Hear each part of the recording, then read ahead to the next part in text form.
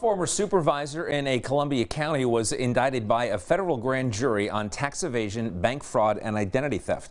That indictment alleges over a four-year period, 60-year-old Linda Tarlecki, an employee and Conyngham Township supervisor, embezzled about $160,000. Federal prosecutors say that Tarlecki wrote unauthorized checks to herself from the township's bank account and then forged the signatures of other supervisors on those checks.